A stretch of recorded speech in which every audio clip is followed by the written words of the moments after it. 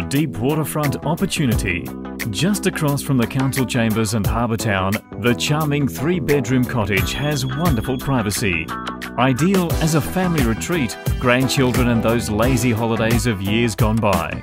The home boasts two double bedrooms with an elevated attic bedroom overlooking the river. On my first inspection, gliding up to the jetty, the home had that special visual charm.